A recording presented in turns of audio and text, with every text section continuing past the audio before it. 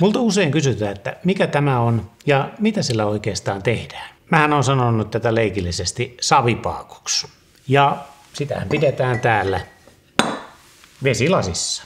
Ja ensimmäinen vastaus oikeastaan kysymykseen, että liukaneeko se veteen? No ei. Mulla se on nyt ollut tuossa lasipurkissa viimeiset pari vuotta ja välillä sinne aina muista lisätä vettä, kun vesi sieltä haihtuu, eikä se nyt toistaiseksi ole sieltä liuennut. Ja kysymykseen numero kaksi, mikä usein kysytään, että kuinka nopeasti se kuluu. No aika paljon mä sitä käytän, mutta en mä sitä nyt ole niin karmeasti sano vielä kulumaan. No mikä oikeastaan on sitten pinnanmuodostuskivi? No tätä kutsutaan kahdella kolmella eri nimellä. Suomalaisittain tämä on pinnanmuodostuskivi, eli englanniksi menee termillä dressing stone, ja sitten monesti kääntyy muotoon nagura. Ja sitten ne kaikki intoilijat siellä monesti sanoo, että ei tämä mikään nagura ole, mutta kyllä itse asiassa oikeasti voi sanoa ihan puhtaasti naguraksi. Tässä on kaikki ne elementit ja ominaisuudet, mitä nagurassakin on, mutta niitä on hiukan säädetty toiseen suuntaan.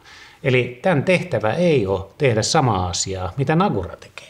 Eli miten toi pinnanmuodostuskivi sitten oikeastaan poikkeaa perinteistä nagurasta? Eli jos mennään ihan historiaa taaksepäin, niin nagurahan on perinteisesti ollut pehmeähköä luonnon kivimateriaalia tai usein jopa sitä samaa materiaalia, mitä hiomakivessä on käytetty.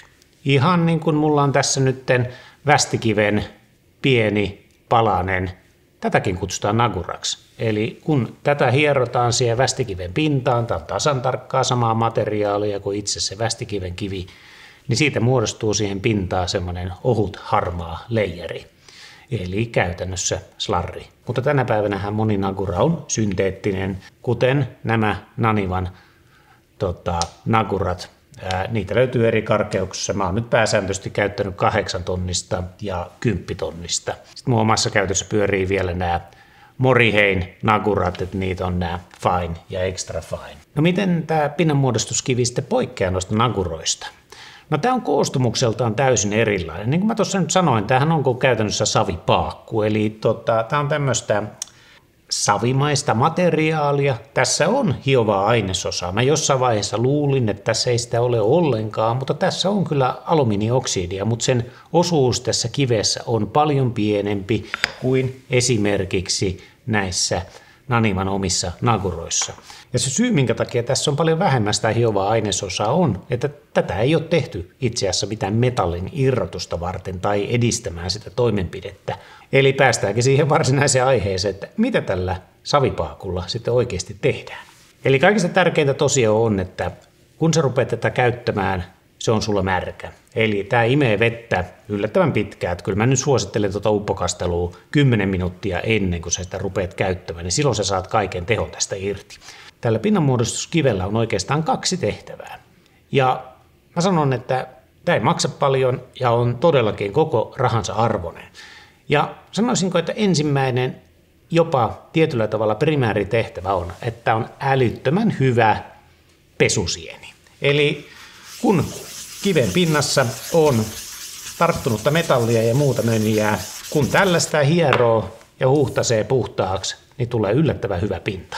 Eli yllättävän puhtaan valkoiseksi saa tämän Rockstarin 320 kiven, joka on tunnettu siitä, että siihen tar- tarttuu yllättävän hyvin metallia kiinni. Sitten päästään siihen toiseen älyttömän tärkeäseen tehtävään, mikä tällä pinnanmuodostuskivellä on. Et meillähän on paljon karkeita kiviä, joihin tarttuu varsinkin pehmeämpi metalli todella helposti kiinni. Ja tämän pinnanmuodostuskiven eli savipaakun tehtävä on estää sen hiomakiven lasittuminen. Eli ennen kuin aloitat sen terottamisen, hiero tähän pintaan tällainen kerros tätä savipakkua. Eli sä itse asiassa muodostat siihen keinotekoisen slarrin.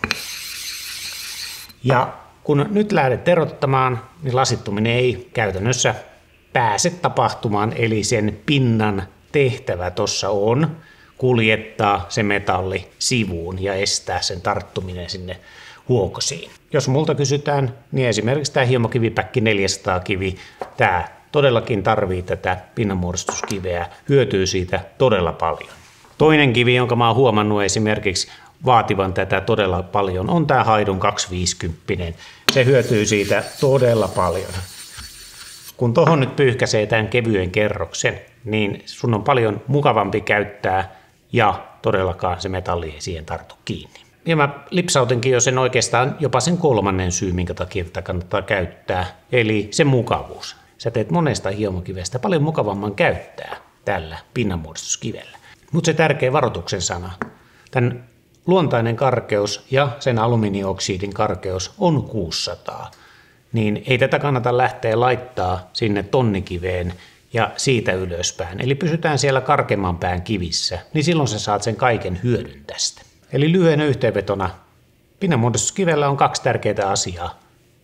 Kiven puhdistaminen ja pinnan lasittumisen estäminen. Se kolmas, minkä mainitsin, eli mukavuuden lisääminen, se on tavallaan niin kuin bonus. Muy.